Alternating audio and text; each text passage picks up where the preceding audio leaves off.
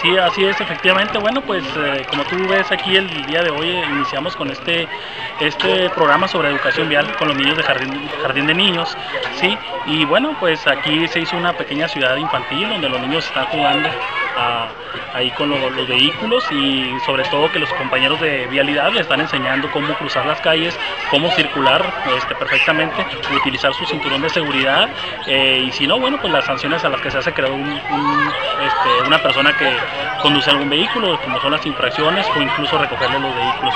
Por ahí estuvimos ahorita, como ustedes vieron, eh, eh, viendo ahí la actitud vaya de los niños, de los pequeños y bueno, pues fue muy muy buena esta esta medida de que ellos están aprendiendo a cómo eh, cruzar las calles, cómo cómo utilizar las, las vías eh, de- de- de la ciudad.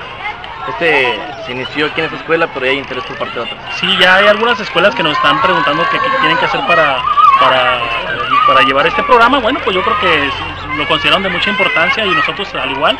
Y bueno, pues nada más que nos lo soliciten al Departamento de Prevención y nosotros con todo gusto nos organizamos y llevamos a cabo este tipo de, de eventos.